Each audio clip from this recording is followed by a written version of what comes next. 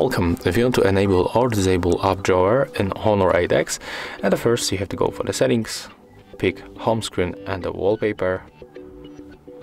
Then you have to go for the home screen style. And here you are able to choose between standard and drawer. So take a look. Currently all my apps are on the home screen, but if you want to change it and hide them in the drawer, you have to select this option right here. Then when you go back to your home screen, wait a little bit and swipe like that, you will find all apps in this place.